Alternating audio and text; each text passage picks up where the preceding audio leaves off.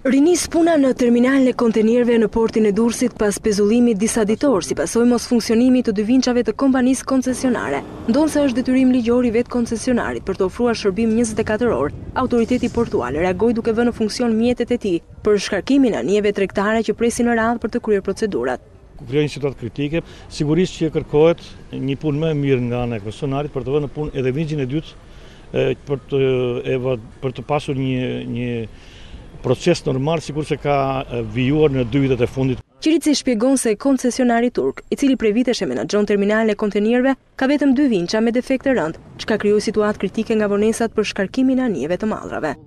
Ishin disa defekte teknike, të ardhur edhe nga moti tepër i keq që ka qenë këto ditë dhe pritet që nga dita e nesërme të funksionojë normalisht sistemi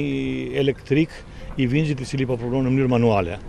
Jashtë kamere kompani të ndryshme biznesi, mallrat e të cilëve hyjnë në vendin tonë nëpërmjet portit të Durrësit, thonë se në vazhdimësi janë përballur me ndërprerje të punës pa paralajmërim për shkak të mosfunksionimit të vinçave.